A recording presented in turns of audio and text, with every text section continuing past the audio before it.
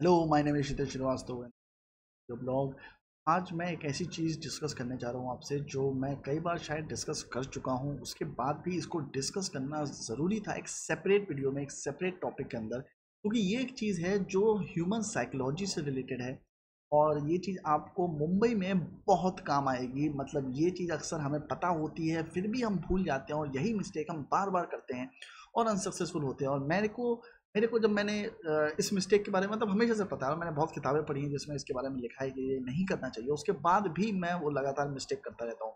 और वो मिस्टेक ये है कि आप अपने बड़े के सामने शो ऑफ़ करते हैं अपनी नॉलेज का। तो बेसिकली सबसे पहली चीज़ तो ये है कि आपको कितनी नॉलेज चाहिए किसी भी चीज़ के लिए। ऑफकोर्स ये बात है, किसी भी नॉलेज में घुसने के लिए आपको नॉलेज चाहिए, पर आपको नॉलेज जंकी नहीं बनना है। Knowledge junkie in the sense कि आपके पास दुनिया भर की नॉलेज है, पर आपने उसका कुछ किया नहीं है। आप दुनिया भर का गिटार खरीद के रख लो, पर आपको गिटार बजाना नहीं आता है तो फिर कोई काम नहीं आप एक गिटार खरीदो, पर आप उसे बजाना सीख लो तो वो ज़्यादा यूज़फुल है ना। तो भले ही आप दुनिया की सारी किताबें पढ़ चुके हो, पर आपने उसका इस्तेमाल नहीं किया है तो किसी यूज़ में नहीं आती है। आपने एक किताब पढ़ी है, पर आपने उसका फुल इस्तेमाल किया है that's where you become successful so so, मेरे साथ जो मैं आपको अपने पर्सनल एक्सपीरियंस से बताता हूँ जिससे आपको बहुत सीखने को मिलेगा वो ये है कि जब मैंने अपने करियर की शुरुआत की थी उससे बहुत टाइम पहले मैंने किताबें पढ़ना शुरू किया था। मैं बहुत किताबें पढ़ता था बहुत रिसर्च करता था बहुत इंटरनेट पे बैठ के रिसर्च करता था। मुझे रिसर्च करना बहुत अच्छा लगता और मैं सपने देखता था कि कोई मुझे फाइनेंस करे और मैं कोई आइलैंड में जिसमें सिर्फ़ किताबें किताबें रखी हूँ मैं वहाँ बैठ कर सिर्फ़ बुक्स पढ़ता रहूँ। तो मुझे बुक्स पढ़ने का बहुत शौक था। और मैं बहुत किताबें पढ़ता था। फ़िल्म मेकिंग से रिलेटेड मैंने बहुत किताबें पढ़ी हैं और बायोग्राफीज बहुत सारी पढ़ी हैं। मैनेजमेंट से रिलेटेड, मार्केटिंग से रिलेटेड, साइंस से रिलेटेड, लिटरेचर जो होता है, मैंने बहुत किताबें पढ़ी हैं। पर ये मैं आपको इसलिए बता रहा हूँ कि मैं अपनी तारीफ़ करना चाहता हूँ कि बड़ा महान इंसान हूँ, मैंने बहुत किताबें पढ़ी क्योंकि एक टाइम था जब मैं बोलता कि शायद मैं बहुत किताबें पढ़ता हूँ बड़ा इंटेलिजेंट हूँ। लोग मुझसे कहते हैं कि तुम बहुत इंटेलिजेंट हो बट मुझे नहीं लगता मैं इंटेलिजेंट हूँ, क्योंकि मैं इंटेलिजेंट नहीं था। उस इन्फ्यूरिटी कॉम्प्लेक्स को ओवरकम करने के लिए मैंने किताबें पढ़नी शुरू करी थी, क्योंकि मेरा वो मतलब कोई मुझसे कॉन्वर्सेशन करता था तो उस कॉन्वर्सेशन में भी वो इंटरेस्टेड नहीं होता था। तो मैंने कहीं पढ़ा था कि अगर आपके पास नॉलेज है तो आप ज़्यादा कॉन्फिडेंट होगे, सामने वाला आपसे ज़्यादा इंटरेस्टेड होगा बात करने में। तो उस चक्कर में मैंने किताबें पढ़नी शुरू करी थी and then it became my hobby आज अगर कोई मुझे कहता है कि you are very interesting person आपसे बात करने में बहुत अच्छा लगता है तो वो इसलिए नहीं है कि मैं बाई नेचर बहुत अच्छा कॉन्वर्सेशनिस्ट हूँ। ऐसा नहीं है, मैंने इतनी किताबें पढ़ी हैं कि मेरे पास इतने फैक्ट्स एंड ट्रिवियाज होते हैं जो मैं उनको बताता हूँ तो उनको वो इंटरेस्टिंग लगता है। So my intelligence is derive intelligence otherwise I अब आइडियट है स्टूपड गाय कुछ और नहीं है मेरे पास, सिवाय जो डिराइव इंटेलिजेंस है फ्रॉम द बुक्स ओके तो द थिंग इज़ अब पर ये जो नॉलेज है, जब मैं इसको ग्रेस्प कर रहा था तो मैं बड़ा खुश फील होता था, क्योंकि मुझे ऐसा लगता था कि मैं बहुत सक्सेसफुल हो जाऊँगा किताबें पढ़ने की वजह से। बाद में जाके मुझे पता चला कि सिर्फ़ किताबें पढ़ने से आप सक्सेसफुल नहीं होते हो बहुत सारे अदर फैक्टर्स हैं जिसकी वजह से आप सक्सेसफुल होते हो। दूसरी चीज़, उन किताबों की वजह से एक एयर ऑफ़ सुपीरियोरिटी मेरे अंदर आ गई थी और जिसकी वजह से मैं विदाउट नोइंग मतलब मुझे पता भी नहीं था, पर कहीं ना कहीं मेरे अंदर एक, जो हम्बलनेस थी, वो चली गई थी। मैं एरोगेंट हो गया था, मैं सामने वाले से आर्ग्यू करता था, मैं ये कोशिश करता था कि जो मैं बोल रहा हूँ वो सही है और जो मैं बोल रहा हूँ वो सही है, उसका कॉन्फिडेंस मुझे इसलिए होता था क्योंकि वो मैंने किताब में पढ़ा होता था। अब ये ज़रूरी नहीं है कि अगर किताब में कोई चीज़ लिखी है तो वो ज़रूरी नहीं है कि वो सही हो, क्योंकि ऑफकोर्स वो भी किसी और के एक्सपीरियंस से आ रही है, उसके ऑब्जर्वेशन से आ रही है, उसके एक्सपेरिमेंटेशन से आ रही है, उसके लाइफ एक्सपीरियंस से आ रही है। पर मैं उसको सत्य मान लेता था और फिर मैं मानता था कि इसी तरह से चीज़ें होनी चाहिए। पर कुछ लोग ऐसे हैं जिन्होंने किताबें नहीं पढ़ी हैं रियल लाइफ से सीखा है, वो कुछ और चीज़ें बताते थे then I wouldn't agree with them और कई बार ऐसा होता था कि वो मुझसे सीनियर होते थे। और उसमें क्या होता था कि कई बार जब मैं उनसे आर्ग्यू करता था उसमें मैं आर्ग्यूमेंट तो जीत जाता था। पर एक दोस्त, एक बॉस एक अपना एल्डर वो मैं छोड़ देता था। मतलब वो मेरी लाइफ से चले जाते थे। ऐसे बहुत सारे रिलेशन हैं जो मेरे खराब हुए हैं। Just because I was trying to prove that I was right कभी भी ज़िंदगी में आर्ग्यूमेंट करने से आप कभी सक्सेसफुल नहीं होंगे। आप सामने वाले को ये दिखा के कि आप सही हैं, कभी आप सक्सेसफुल नहीं हो सकते। आप कभी इंटरव्यू देने जाओ इंटरव्यू में अगर आप, जो आपका इंटरव्यू ले रहा है, वो आपकी कंपनी का बॉस है। वो आपका इंटरव्यू ले रहा है और आप किसी बात पे उससे बहस करने लगते हो क्योंकि आपको लगता है आप सही हो। और हो सकता है कि आप वो कॉन्वर्सेशन जीत भी जाओ, क्या पता आप सही हो भी। बट क्या उससे आपको जॉब मिल जाएगी? नहीं। आप आर्ग्यूमेंट जीत जाओगे, पर बाहर निकल के who is the bigger loser you because you didn't get the job that is the problem with argumenting with other people आपको अपनी नॉलेज रखनी है, पर उसका शो ऑफ़ नहीं करना है। क्योंकि तो अपने से बड़े से अगर आप अपने नॉलेज का शो ऑफ़ करोगे तो आप आर्ग्यूमेंट तो जीत जाओगे, आप अपनी बात पे सही तो साबित हो जाओगे, पर आप जो करने आए थे, वो आप भूल जाओगे। उस आदमी से आपको जो बेनिफिट होना था, वो खत्म हो जाएगा। मैं आपको कुछ एग्ज़ाम्पल लेता हूँ अपनी लाइफ से ही। मैं एक फ़िल्म असिस्ट कर रहा था। ये एग्ज़ाम्पल मैंने पहले भी दिया है, फिर से देता हूँ। तो मैं असिस्ट कर रहा था तो वहाँ पे एक फॉरेनर बंदा था जो आया था, उसने मुझे अपनी स्क्रिप्ट दिखाई और जिन डायरेक्टर के साथ मैं काम कर रहा था, वो मुझे बहुत मानते थे, बहुत रिस्पेक्ट करते थे। रिस्पेक्ट क्या प्यार करते थे? मैं रिस्पेक्ट करता था उनकी, वो मुझे बहुत प्यार करते थे और बहुत इंटेलिजेंट लड़का समझते थे। पर ये जानते थे कि मैं उनसे नीचे हूँ और मैं हमेशा प्रिटेंड भी करता था कि मैं उनसे नीचे हूँ। पर वो एक फॉरेनर बंदा आया, उसने मुझे अपनी स्क्रिप्ट दी, उसने रीड करने को दी, मैंने कुछ पेज पढ़े और तारीफ़ कर दी। And he started praising me अब उसमें क्या हुआ कि मुझे मन में मेरे मन में ये चल रहा था कि वो आ, मेरी तारीफ़ सुन के डायरेक्टर मुझे और पसंद करने लगेगा पर वो मुझे बाद में हेट करने लगा और हम लोग आगे जाके डिस्प्यूट भी हो गया। क्यों? क्योंकि मैं उनके सामने अब एक आदमी एक बहुत बड़े डायरेक्टर के सामने मेरी तारीफ़ कर रहा है कि मेरा जो इंटेलिजेंस लेवल है उनसे भी ज़्यादा है। Which is not a good thing अगर आप forty eight laws of power पढ़ोगे तो आपको समझ में आएगा कि सेनापति कितना भी सक्सेसफुल हो, अगर वो राजा से ऊपर जाता है तो राजा उसे खत्म कराता तो एक कहानी है forty eight laws of power नाम की जो किताब है रॉबर्ट किंग की। उसमें एक सेनापति की कहानी है, जो एक बहुत बड़ी वॉर जीत के आता है, जिसमें राजा नहीं गया था। राजा ने उसको भेज दिया था वॉर जीतने के लिए। वो बहुत बड़ी वॉर जीत के आता है। जब वापस नगर में आता है तो वहाँ सब लोग उसकी तालियाँ बजाते हैं, सब शोहरत होती है, सब लोग उसे एकदम वाही वाही करते हैं। और रिवॉर्ड में राजा उसे क्या देता है? राजा उसका सर कलम करवा देता है। कैन यू इमेजिन क्यों क्यों राजा से भी ज़्यादा पॉपुलर हुआ था। वो वॉर जीत के आया था, राजा का फेवर करके आया था, राजा का नाम उसने ऊँचा किया। पर उसका नाम कहीं ना कहीं राजा को ऐसा लगा कि सिटीजन की नज़र में उसका नाम राजा से ऊपर हो रहा है तो उसने उसको हटा दिया। वैसे ही अगर आप क्रिस्लर कॉर्पोरेशन और फॉर्ड कॉर्पोरेशन का पढ़ोगे तो हेनरी फोर्ड के सामने एक टाइम में ली आयको का, जो कि वाइस प्रेसिडेंट था, वो इतना ज़्यादा फ़ेमस हो रहा था, इतना पॉपुलर हो रहा था, क्योंकि एक मस्टैंग करके गाड़ी निकाली थी फोर्ड वालों ने। वो बहुत सक्सेसफुल थी यूएस में। तो उसकी वजह से लिया का बहुत पॉपुलर हो गया था, बहुत इंटरव्यूज़ हो रहे थे, बहुत आर्टिकल छप रहे थे उसके ऊपर and he got jealous of him and he fired him from the job बाद में लिया कोका ने जाके क्रिस्लर ज्वाइन किया और क्रिस्लर उस टाइम पे बैंक के मोड पे थी, पर लिया कोका ने उस कंपनी को ऊपर उठाया बाद में। खैर, वो सेपरेट स्टोरी है but he fired him that is the thing ऐसा ही एक और इंस्टेंस हुआ मेरे साथ कि मैं एक डायरेक्टर के साथ एक स्क्रिप्ट लिख रहा था, मैं उनके साथ स्क्रिप्ट राइटिंग कर रहा था। तो कॉन्सेप्ट उनका था प्रोड्यूसर उनका था, पैसा वो मुझे दे रहे थे, सब कुछ था। अच्छी खासी जॉब थी अच्छा खासा पैसा मैं कमा रहा था उसमें। बट एक किसी पॉइंट पे आके स्क्रिप्ट कंप्लीट हो चुकी थी, बस क्लाइमैक्स में आके हम लोग थोड़ा सा आर्ग्यू कर रहे थे। उस आर्ग्यूमेंट में एक रात को बात बहुत बढ़ गई, जो क्रिएटिव बातें होती ना, वो एक लेवल पर इतनी ज़्यादा बढ़ गई कि आई टोल्ड हिम कि आप जो बता रहे हो वो गलत है। और वो गलत ही बता रहे थे, और मैं सही भी था वहाँ पर पर क्या उससे मेरी जॉब बची? नहीं हम दोनों के बीच में झगड़ा हुआ अगले दिन से हमारी बात बंद हो गई आज तक हमारी बात नहीं होती है वो रिश्ते वापस कभी ठीक नहीं हो पाएँगे क्योंकि वो एक गांठ पड़ चुकी है उसमें। और छोटा छोटा सा मुद्दा था और वो था कि मैं आ, स्क्रिप्ट को लेके बहुत पर्टिकुलर था कि इसी तरह से चीज़ें होनी चाहिए इस तरह से क्लाइमैक्स होना चाहिए। वो जो बता रहे थे वो आ, वो सुनने में तो अच्छा लग रहा था वो स्क्रिप्ट में अच्छा लगता देखने में पर वो जब आप एग्जीक्यूट करते आप उसे एग्जीक्यूट नहीं कर पाते। और वो फ़िल्म बनने में, क्योंकि ये डिफरेंस होता है कि स्क्रीन प्ले में आप कुछ भी लिख सकते हो, पर आपको ये भी सोचना पड़ता है कि स्क्रीन प्ले आपका मूवी बनने के लिए है। स्क्रीन प्ले आपका नॉवल लिखने के लिए नहीं है। तो ये चीज़ समझनी चाहिए। तो ये सब चीज़ें मैं उनको समझा रहा था, उनको नहीं समझ में आई। पर थिंग ये है, समझने वाली चीज़ ये है क्या मुझे समझाने की ज़रूरत थी? मेरा प्रोजेक्ट नहीं है, मेरी कहानी नहीं है, मेरा प्रोड्यूसर नहीं है, उनको जो बनाना है वो बनाए। मैंने अपनी तरफ़ से जो एफर्ट किए थे, सो किए थे। अगर उनको कुछ चेंजेस कराने थे तो मुझे कर देने चाहिए थे। मुझे इतना स्ट्रिक्ट होने की क्या ज़रूरत थी? बहुत ही चूतियापे का डिसीज़न था वो मेरा। ऐसे ही बहुत सारी जगह पे ऐसा हुआ है कि जब मुझे लगा है कि सामने वाला मेरी इंटेलिजेंस से प्रभावित हो जाएगा, पर वो प्रभावित होने के बजाय इनसिक्योर हो जाता है। तो it is very stupid to make someone in front of you insecure अगर आप वो इंटेंशनली कर रहे हो, ठीक है, पर अगर आप वो विदाउट डूइंग कर रहे हो तो गलत है। लाइक like जब मैं मुंबई की शुरुआत, मुंबई में आया था शुरुआत में तो मैं how to win friends and influence people पढ़ता था ब्रेक करने की उस किताब ने जितनी मेरी हेल्प करी है, उतनी कभी किसी ने नहीं करी। पर मैंने उसके बाद पढ़नी बंद कर दी और अभी रिसेंटली कुछ दिन पहले मैंने वो किताब दोबारा पढ़ी। तब मुझे पता चला कि मैं अपनी लाइफ में वापस वही गलतियाँ कर रहा हूँ, जो मेरे को नहीं करनी चाहिए थी, लोगों से डील करने में। तो उसमें सबसे इंपॉर्टेंट चीज़ ये है don't ever criticise condemn and complain criticise कभी किसी को मत करिए। इवन वो गलत भी हो, वो कह रहा है कि वो दीवार लाल रंग की है, आपको पता हो दीवार येलो रंग की है। क्या तो लाल रंग की है, क्या फ़र्क पड़ जाएगा क्या उससे दीवार चेंज कर, रंग चेंज हो जाएगा? कुछ नहीं होगा। वो आर्गूमेंट जीत के खुश हो जाएगा। एटलीस्ट आप उससे दूसरी बातें कर सकते हो ना। उससे आपका अगर मुझे आपको, आपका वो क्लाइंट है, आपका, आपको टेंडर मिलने वाला है आपसे बिज़नेस मिलने वाला है तो अगर आप बोल लोगे दीवार रेड है तो क्या चला जाएगा? It is not always right to prove yourself right so ये बहुत इंपॉर्टेंट है कि आप नॉलेज तो गेन करो, पर उसको इस्तेमाल कैसे करना है, ये जानना बहुत ज़रूरी है। और इसके लिए मैं कहता हूँ, दो किताब पढ़ना बहुत ज़रूरी है। Forty eight laws of power and how of influence influence people और एक चीज़ है कि आपका ईगो हमेशा बार बार उसके बीच में आता है। अब बार बार वो जो ईगो होता है ना कि नहीं मैं मैं, मैं कैसे नीचे झुकूँ?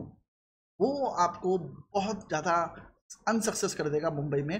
मैं बता रहा हूँ जैसे मैं बता रहा था कि मुंबई में जब नया नया गया था तो मैं क्योंकि वो किताब पढ़ के गया था how to influence and people तो उस टाइम पे जब मैं मुंबई में किसी से मिलता था तो मैं एड़ा बन के पेड़ा खाता था। मैंने ऐसी ऐसी लड़कियों के साथ काम किया है जो मुझसे उम्र में छोटी थी और मुझे पता है कि वो मुझसे उम्र में छोटी हैं।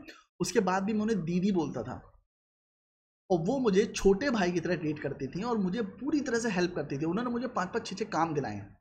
ऐसे ऐसे लोगों से मैं मिला हूँ, जिनको मैं भैया सर कह के बात करता था, भैया भैया करके दादा दादा करके बात करता था। जबकि मुझे पता होता था कई बार वो मुझसे उम्र में छोटे होते थे या मेरे बराबर के होंगे या थोड़े से बड़े ही होंगे, फिर भी मैं उनसे वैसे करके बात करता उन्हें पूरी रिस्पेक्ट देता था, उनके सामने चूज़ा बन के रहता था, बच्चा बन के रहता था।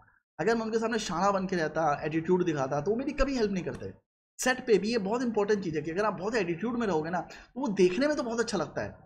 एट टाइम्स आपको लड़का बड़ा अच्छा लगेगा जो बहुत एटीट्यूड में रहता है और जो लड़का सबसे चूज़ा बन के रहता है, सबसे चूतिया लगता है। पर जो चूज़ा बन के रहता है ना हेल्प उसी की करते हैं लोग।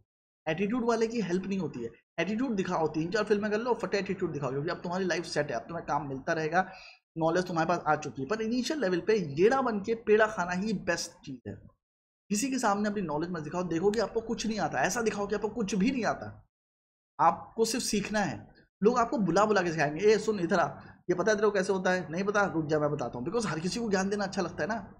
मैं भी तो क्या कर रहा हूँ यूट्यूब पे ज्ञान ही दे रहा हूँ ना, मुझे अच्छा लगता है ज्ञान देना। मैंने इतनी नॉलेज एक्वायर की है। अब ये जो काम मैं यूट्यूब पे कर रहा हूँ, ये बाहर नहीं कर सकता। मैं किसी कंपनी के एग्जीक्यूटिव को जाके, जिसके साथ मुझे फ़िल्म बनानी है, उसको मैं जाके ज्ञान दे लूँ कि फ़िल्म कैसे बनती है। इवन तो उसे नहीं पता है और वो वो एज्यूम करके बैठा है कि उसको पता है। हो सकता है मैं उसको सही ज्ञान दे रहा हूँ but he won't accept it ना। जब तक मैं उसका बॉस नहीं होता हूँ। सो so, कहने का मतलब ये है आप अपने बड़े से तो ज्ञान ले सकते हो अपने से छोटे से ज्ञान ले सकते हो तो अपने किसी भी बड़े को ज्ञान देने की ज़रूरत नहीं है और बिल्कुल प्रैक्टिकल मेथड से मुंबई में चलना है। बिल्कुल प्रैक्टिकल मेथड से। आपका जो भी बड़ा है कभी उसे ज्ञान देने की कोशिश मत करो उसके सामने चूतिया बन के रहो ईगो को किनारे कर दो। ईगो मुंबई में बहुत डेंजरस कॉमोडिटी है। अगर आपके अंदर ईगो है आप सक्सेसफुल नहीं हो पाओगे। जैसे अभी करण के साथ इंटरव्यू हुआ था उसमें उसने बताया कि रिजेक्शंस में आपको कभी रिजेक्शंस पर्सनली नहीं लेने चाहिए।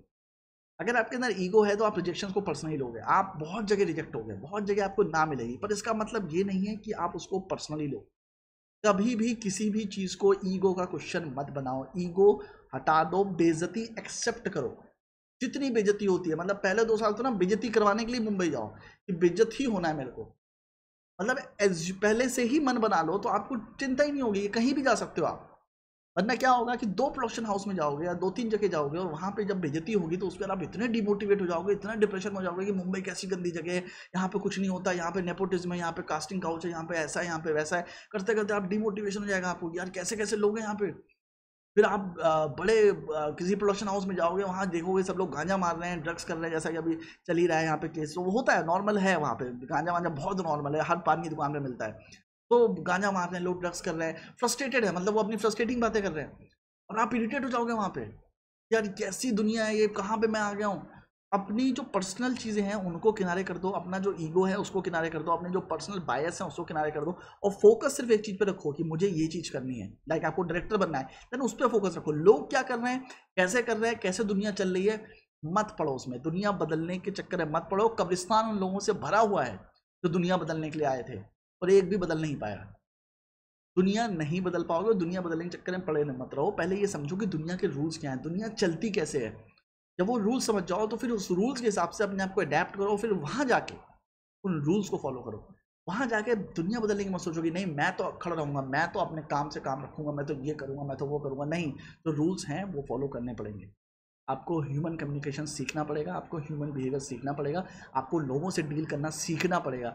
सबसे इंपॉर्टेंट चीज़ है, मेरी स्क्रिप्ट राइटिंग बहुत अच्छी है, उसके बाद भी अभी तक देखो, मेरी कोई खास स्क्रिप्ट निकली नहीं है बाहर। उसके पीछे कारण सिर्फ़ एक था एरोगेंस मैंने जिनके साथ भी काम किया, मैंने हमेशा उनको बहुत बढ़िया स्क्रिप्ट लिख के दी, बहुत बढ़िया ड्राफ्ट लिख के दिए चालीस चालीस पेज लिख के दिए।